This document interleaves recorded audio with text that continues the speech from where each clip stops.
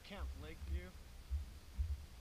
Uh, it's over here, um, kind of between Graham and Eatonville, Washington. Uh,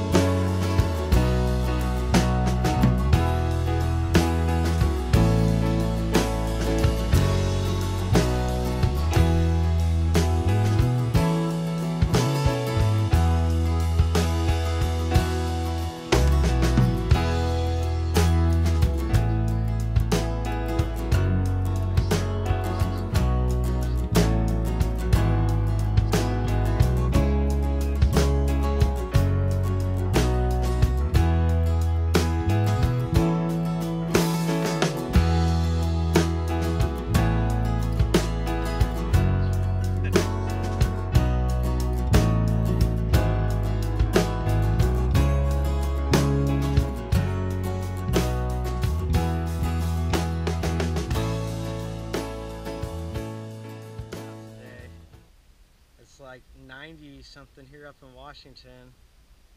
I'm like, I just came from California and it feels like I'm still in California, but it's super nice out. It's Monday and so like nobody's out here. It's super quiet.